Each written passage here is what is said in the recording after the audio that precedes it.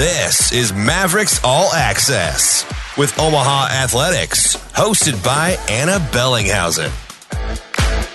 Welcome to Mavericks All Access. Ana Bellinghausen with you and Mike Gabinet, head coach for the hockey team. Coach, how are you doing today? Yeah, doing great. How are you doing? Doing awesome. Always great to have you on the show. We'll start off with what the past weekends have meant. Obviously, had a bye week. How has it been having that time off and just getting those practices in? Yeah, we were just talking about. I think it was good. We came back from the break and you know had two, three, four practices and right into game action. So kind of nice to have a normal week and let the guys get some of the rust off and get back into game shape and and be prepared for conference play coming up. You rang in the new year with a series against St. Lawrence. You split it. I want to talk about the event though around the New Year's Eve day and everything like that. Having the fans stay down till midnight and the players were hanging out on the ice with the fans as well. What did it mean seeing all that? Yeah, it was great. I think anytime we get a chance to interact with our fans and just expose them to the, the type of people we have with our program is a positive thing. And you could I couldn't believe the number of people that stuck around after the game to to celebrate with the team and get on the ice and sign autographs and spend time together. And again, I think uh, that's what Omaha's about a little bit, right? We don't have professional teams in the city, and we have all that great support for our university programs. And so to have that interaction with the fans after a big win was uh, was a beautiful evening. Yeah, the support is evident. Fourth in this college college hockey league at all with attendance at Baxter Arena. Pretty impressive throughout the nation. What is that a testament to about this community? Well, I think it starts with our administration, you know, with a conservative effort to, to fill the building and to really make sure they're promoting our product on the ice. And then ultimately, like I just mentioned, the fans, the community support coming out and, and cheering on their, their hometown team. So all that uh, meshed together results in a great crowd. And, mm-hmm. and like you said, fourth in the country in attendance, which is pretty special. And so it's, it's awesome. You know, the guys really love playing in front of a full crowd. Uh, the energy you can feel in the building. The, you know, the arena's packed and, and uh, just a tremendous place to play uh, to play home games. And you've got a CBS game on Friday as well. How have you seen the game grow on the national scale as well? Yeah, you're seeing it with college hockey, right? Teams are popping up all over the country. They're you know continuing to add teams, and hockey's growing, whether it's the West Coast or the East Coast, and which is great for the sport. And I think the more you know diversified you get all over the country with teams and playing, and uh, the sport continues to grow, which as a coach you love to see. And so hopefully we can just continue that direction and. Uh, keep exposing it nationally. This team stands at 9 9 and 2 and then fourth in the NCHC, NCHC rankings. How do you evaluate where your squad is right now? Yeah, you know what? It's been kind of a, a, a, unique year with a lot of parity in college hockey. I think going into this season, um, if you would have told me our, our non conference schedule is as tough as it is with you know Alaska being in the top twenty and and uh, Niagara being a top 30 team and things like that. So we really haven't had a lot of easy non-conference games, and then vice versa. You know, to be fourth in NCHC is a pretty good accomplishment for mm-hmm. the first half of the year, and to be right in the mix uh, for home ice advantage has been awesome. So uh, lots of ups and downs, but really I think we knew that going in with a, a lot of new players. We'd, we'd face some adversity, but I love the group, and we continue to grow and and be in tight games, and we just got to find ways to keep improving. And now Minnesota Duluth is in town this weekend. It feels like a team that's kind of in the same spot you guys are. They're fifth in the NCHC rankings, tied there.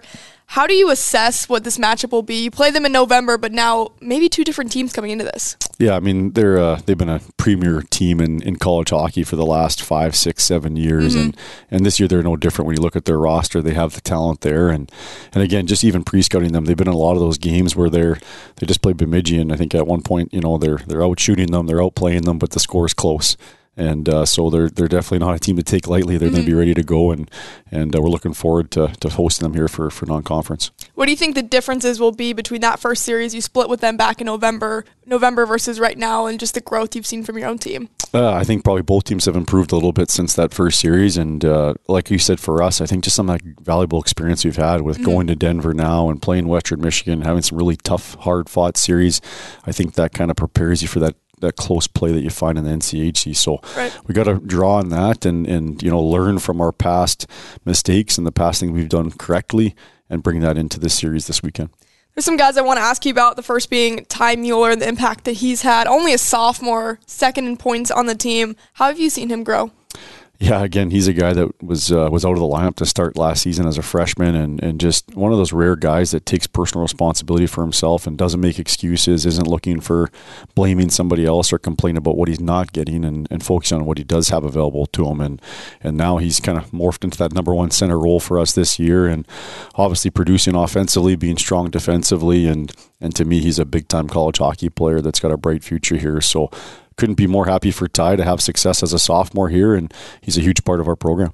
And on the veteran side, Jonny Tychonick, just an energy guy and someone who's had the best season of his career so far. How happy sure. does that make you for him? Well, probably stem from his piece with you at the start of the year. I think so. He learned yeah. some pointers. Exactly, exactly. So I've really, I've really seen a jump in his game since then. and uh, uh, no, but you know what? He's another guy that's just growing, growing every year since he's been here, and I'm just really happy for him here in his third year now to really find his groove mm-hmm. and, and be one of our top defensemen there. And I think both physically and mentally, he's really grown here over the last couple of years, and and he's showing that this season. Yeah, he mentioned mentality and just his mental game and how that's been a big factor for him this season, especially. How do you think players develop in the mental game? I mean, from a coach that you've seen this over many years sure. and over a lots of different guys, how do you see the mentality grow from uh, freshman year to senior year?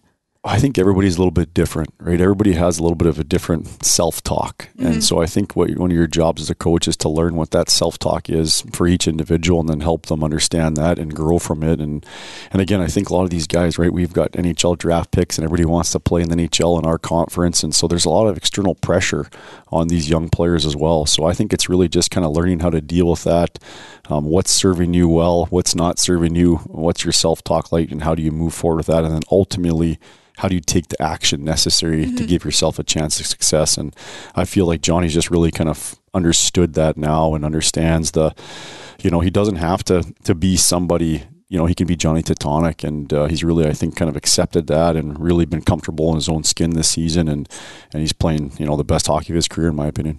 Another interesting note, shout out the game notes, Austin. Least penalized team in the NCHC. Has that been a point of emphasis for you guys? I didn't even know that. That's yeah. good. That's good. Yeah, no, I think uh, again in the past, right? We've we've uh, you know you want to be competitive, and, and the way it's officiating our conference, sometimes it's it's tough to to mm-hmm. not take penalties just from playing the game hard, and, and you want to be you know you want to be tight and hard to play against, but obviously you don't want to go down the man advantage. So that's something we worked extremely hard on in training camp, and again, right, the less you're on the other teams on the power play, the better it is for your team. So it's been a point of emphasis for us, and our guys are doing a great job to stay out of the penalty box.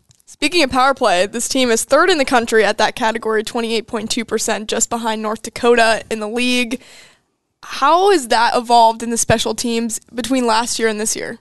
Well, uh, again, I was just saying the other day at the press conference, our, our associate head coach Dave Noel has done a tremendous job with the power play. That's that he's in charge of that, and and and like you mentioned from last year, we lost a lot of guys uh, on that previous unit that was pretty successful, and to do that and to still have the same amount of success speaks to your structure, your organization, and your plan for that to be effective. So, a lot of credit to him, and obviously our players as well, right, buying into that concept, and I think we've established some things that are necessary to do to be successful in the mm-hmm. power play. And when you're dealing with your most skilled players, it takes buy-in. It takes buy-in them, and and, uh, and they're doing a great job with that. And and Coach Alberniz uh, got them rolling. Next two series at home for the Mavericks against Minnesota, Minnesota Duluth, and then Miami the following week. How important do these home wins feel to secure? Yeah, I think every game in the NCHC is is important. I think college hockey. I was just visiting with a a former assistant coach in the NCAA who's now a head coach in the USHL, and that was one of the things that he talked about enjoying about not coaching college hockey was that it wasn't every game is life or death. Right. Um, you know, in the game of hockey, there's a lot of different things that go into the outcome of the game, and so, but it's just so magnified because these games are so mm-hmm. important, right? So, I think it's you know our players obviously know that they they want to win, but also making sure they, you know, they don't play scared and they don't be right. fearful in how they play, and that we can making sure we're executing out there and, mm-hmm. and and, and making the right play. So um, the, everybody knows the importance of the games. Um, so we know how crucial they are, but we also want to make sure that our guys are playing to their potential and and ultimately getting that flow state and playing their best hockey. What do you think the biggest part of the execution will be from the game plan to make sure you're in that top four come postseason? Yeah, uh, you, again, you got to execute. You got to be ready mm-hmm. to go. You got to go longer and harder than other teams are willing to go. So all of the above is necessary to, to find ways to win in this conference. And again, I think our guys have done a tremendous job at doing that, and and and we've got we've got tough guys. Like we've got tough mentally and physically guys. We are talking about that the other day too. How important that is, and and really what I think about mentally and physical toughness is to be able to do the right thing no matter what the situation is. Mm-hmm. You know, both mentally and physically, and that's hard to do, right? When external circumstances happen, often that dictates how you act and and behave. But if you can do the right thing mentally and physically in a tough situation, you've got some mental toughness. Speaking to this weekend, what will be the biggest keys for your team to come away with the series win? Again, I think just to you know, again, we want to start start well and, and play well, and and obviously without giving away too much of our game plan for Duluth, we want to make sure that we execute what we've talked about all week mm-hmm. and practiced all week. Uh, very important that uh, you don't give a good team like that a chance to get rolling and. And uh, so it's really important we, we stick to our game plan there. We, we stick to our identity there and, and then take it, uh, you know, one period at a time. Well, we talk a lot about hockey. Let's talk sure. a little bit about you okay. from the personality side as well. I've got some nice questions for you. First one if you were not coaching, what would you be doing? Oh, man. Uh, if I wasn't coaching, what would I be doing? Oh, man, you should have prepped me on these ones. Uh, I feel like you give me like a history teacher vibe. Like I feel like you could totally do that. Uh, yeah, you know, I'd love the summers off if I could be a teacher. That would be a nice. Uh, I'm sure my family would be signed up for that one. Um, but yeah, you know what? I'm not sure. I, I think uh, I took business finance in school. Uh, probably something something business wise. Uh, mm. Uh, you know, maybe a little bit entrepreneurship or something like that. Where maybe it, I think it would be tough to be in a normal sit at a desk all day long yeah. job, but. Uh, uh, something like that, but you know what? I haven't I haven't thought too much about it since I love coaching so much. Yeah, no plan B. That's fine. yeah. Next one, a little bit easier. What's your favorite vacation spot? Oh man, uh, you know what? We, we we tend to get out to Palm Springs, California. My folks, my folks are out there sometimes um, during the year, and we're really fortunate to have a good family friend that has a beautiful place out there that they let us use uh, when we go out there to visit my family. So um, probably right now that's a that's a sweet spot to get away to, and uh, uh, but really, any uh, my wife's really big on traveling, so mm-hmm. anytime mm-hmm. we can go, I, I, have have been guilty of not doing any vacations, but I, I got to make sure that changes uh, here coming up. So the destinations are a little bit more southern, not going anywhere more north than you usually do during the season. Yeah, definitely. I've, i grew up. Uh, I grew up. Uh, I grew up in a cold climate, so we're trying to go south as much as we can. But uh, definitely in the summertime, I'd, I'd, I'd, really miss the mountains. I, I got to grow up.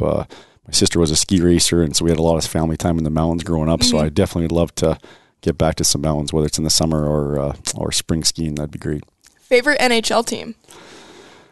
Oh man, you know what? I just I, I don't really have a favorite team. I think you know with my position, I'm fortunate to know a lot of coaches in the NHL, and, right. and you got friends in the NHL, and uh, so usually you're kind of just cheering for whoever you have a relationship with. So mm-hmm. it, it, depends. Uh, you know, got some different coaches that I know all around the league, so you're always rooting for those guys to have success. Do you grow up with any certain team? Well, my gramps coached with the Winnipeg Jets back in the day when mm-hmm. I was younger, so I definitely, uh, you know, was a Winnipeg Jets fan when okay. he was coaching for them, and got to go to some games and and uh, got to hop on a plane and spend some time with grandma and grandpa during uh, during the season. So that was pretty cool. Best team meal to get? What are you picking? Oh man, we again we have some great food uh, on the roads, but oh, I'm probably uh, you know I've food for me is. Uh, I'm always always love to eat, so it's uh, and I'm a big meat eater. So you know, if we can get a really nice steak on the mm-hmm. road or or uh, some type of good meat, uh, uh that's probably what I'm going with. Omaha's a good place for that too. That's right. Yeah, definitely some great recruiting uh, spots to yes, recruits to for, for sure. sure. For sure. Last question: Any superstitions?